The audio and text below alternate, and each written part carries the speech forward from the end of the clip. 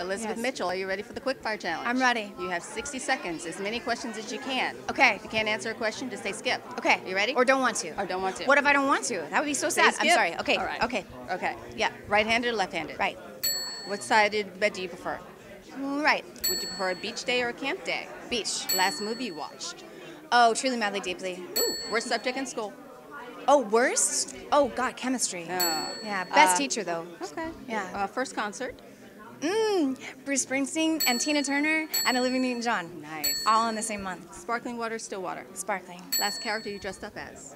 Oh, me. Favorite season of the year? uh, fall. What Game of Thrones house are you? Oh, someone said Lan- La- uh, Lannister, and I was like, come on, no, I want to be the one with dragons. Okay. Yeah. Um, what do you like on your pizza? Uh, cheese. Work hard or play cheese. Play hard.